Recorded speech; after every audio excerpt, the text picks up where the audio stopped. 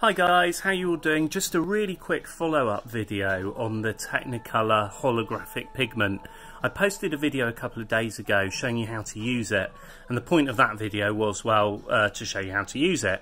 Um, a lot of you said that you'd really like to see the holographic effect better and I shot that video in my studio and the lights were very flat because I paint in there so I wanted to show you that just on my phone with a phone light so you could get a sense of it.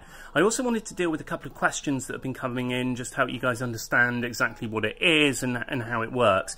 Essentially the pigment itself is absolutely useless without stick and the wand that I've created to go with it. Um, if you just get the pigment and think you can mix it into a paint or sprinkle it on top of paint or whatever, it's, it's just not going to work, which is why we created stick and the wand.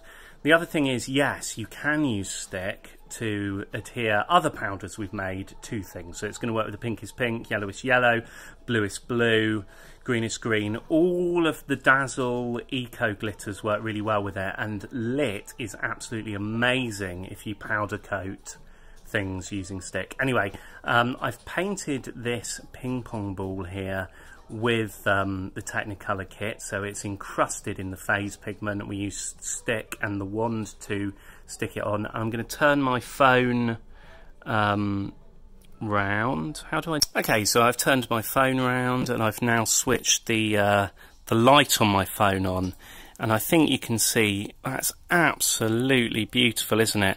Actually my phone is correcting that colour a little bit. Um, it looks way better in real life. Let me see if I can adjust this. There you go. That's much more like what I'm seeing um, with my eyes. So hopefully that helps you get a sense of how awesome this stuff is. It really is absolutely beautiful Okay, so hopefully that's given you a bit more of a sense of what this is and how it works. If you've got any questions at all, hit the comments below. I'll be glad to answer them. And thanks so much for everything. Thanks for being there. You know I love you. Have an amazing day. Bye.